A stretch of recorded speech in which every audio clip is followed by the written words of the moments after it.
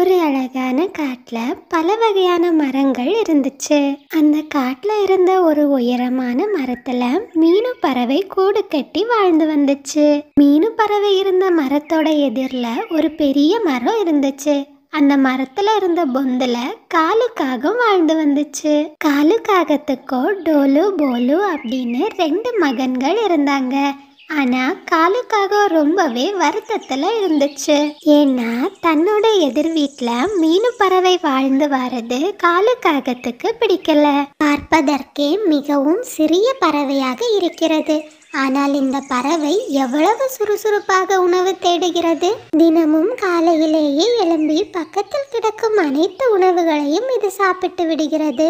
என் குழந்தைகளுக்கு நான் வெகு தூரம் சென்று உணவு தேட வேண்டியதாக இருக்கிறது. எப்படியாவது இந்த பறவையை காட்டிலிருந்து விரட்ட வேண்டும். அப்போதுதான் நான் இங்கு நிம்மதியாக இருக்க முடியும். அப்படி நினைச்ச ராணிக்காகவும் மீனு பறவையை காட்டிலிருந்து விரட்டுறதுக்காக சரியான தருணத்தை எதிர்பார்த்து காத்துக்கிட்டு இருந்துச்சு. இந்த மாதிரியே கொஞ்ச நாட்கள் போய்கிட்டு இருந்துச்சு.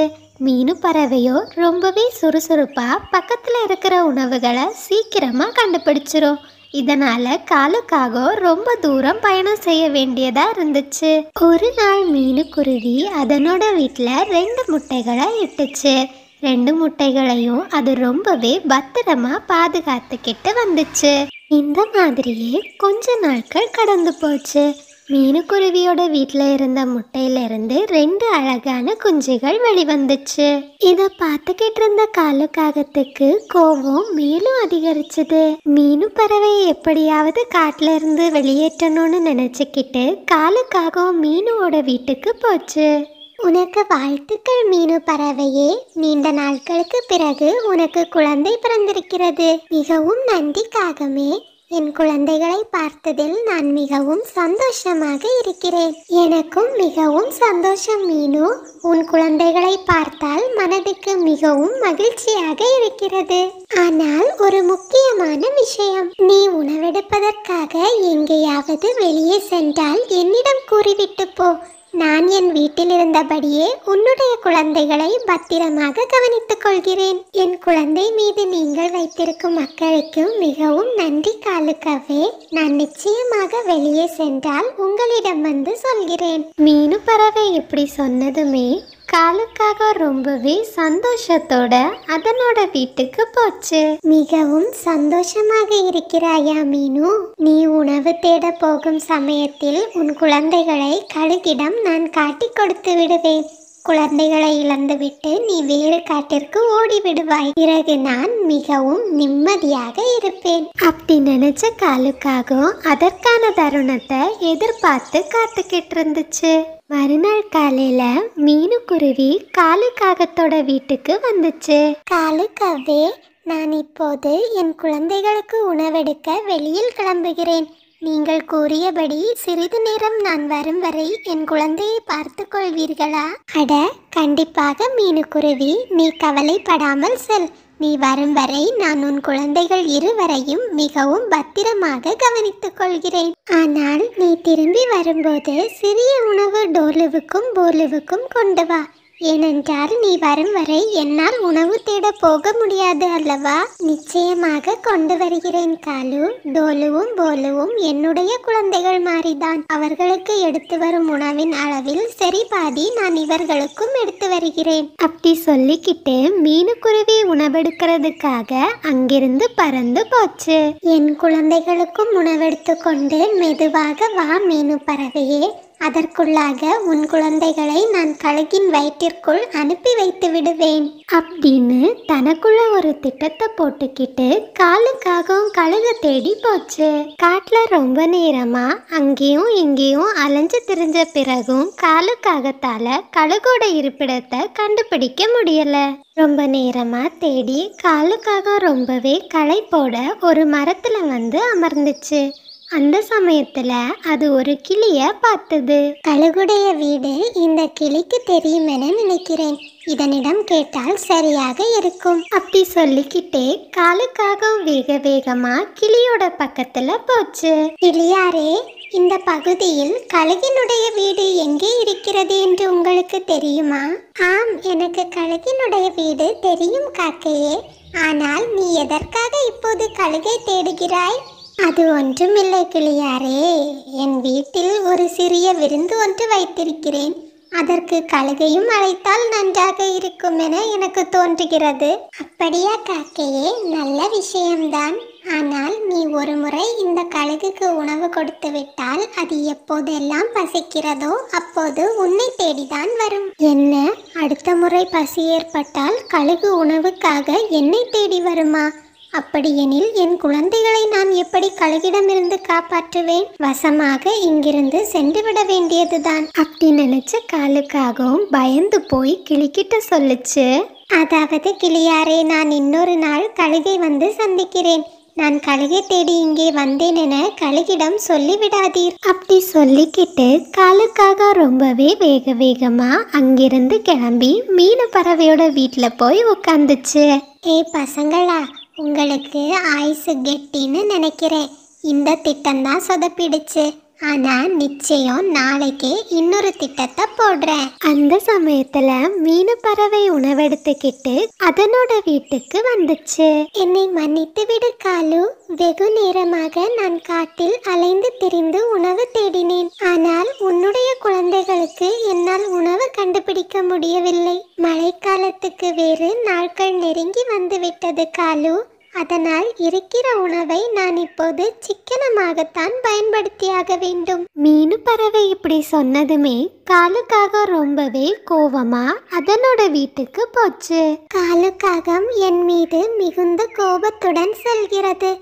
ஆனால் நான் என்ன செய்வது? எனக்கு தானியங்கள் எதுவுமே கிடைக்கவில்லை. அன்னைக்கு சாயந்தரமே காட்டுல கருமேகங்கள் சூழ்ந்துச்சு. ரொம்பவே பயங்கரமா மின்னவும் ஆரம்பிச்சது. கொஞ்ச நேரத்திலேயே ரொம்பவே பலத்த காற்றோட மழை பெய்ய ஆரம்பிச்சது. மீனு குருவியும் அதனோட குழந்தைகளும் மழையில நனைஞ்சுக்கிட்டு இருந்தாங்க. என்ன?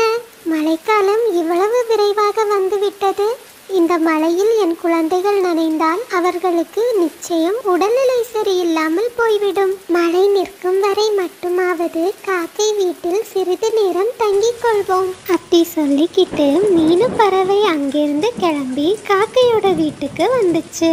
ஆனா காக்கையோட வீடோ பூட்டி இருந்தது. அலு காலு கதவை திற.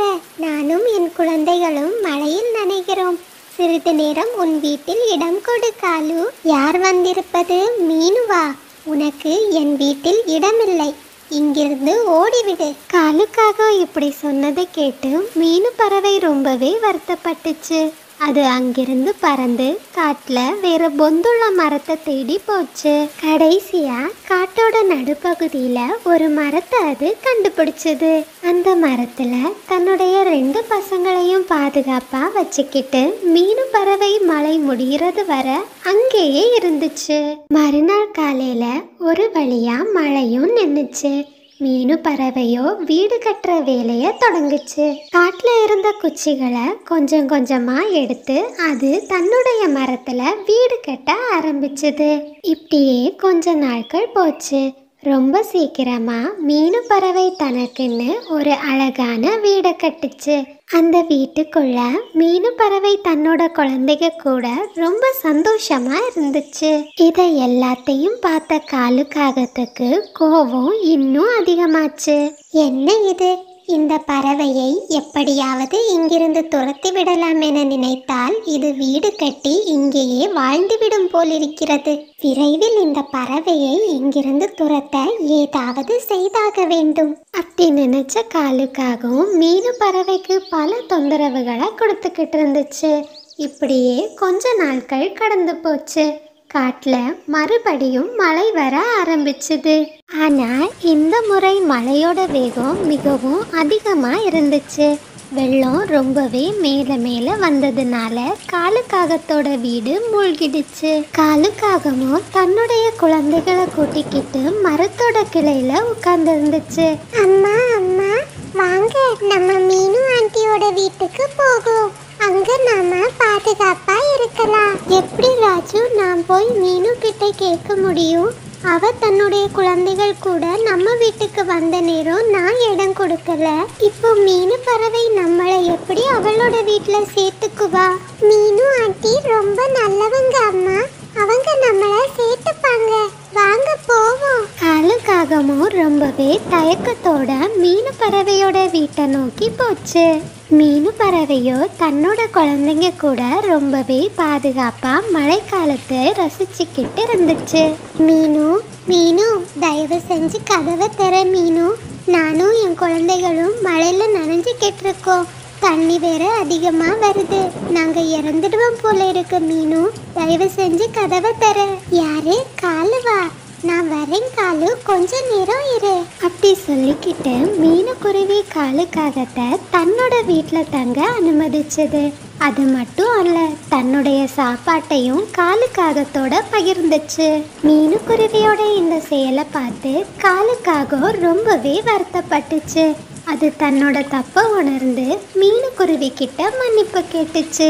அன்றிலிருந்து மீனுக்குருவியும் காலுக்காகமும் நல்ல நண்பர்களா வாழ்ந்தாங்க. பசங்களா மீனுக்குருவியோட இந்த செயலை தான் நாம் சொல்லுவோம். வெறுப்பை அன்பால் வெல்வோன்னு நாமளை ஒருத்தங்க வெறுக்கிறாங்கன்னா அதை வெறுப்பால் நம்மளால் வெற்றி கொள்ள முடியாது. அதற்கு மாறா அன்பால் தான் வெற்றி கொள்ள முடியும்.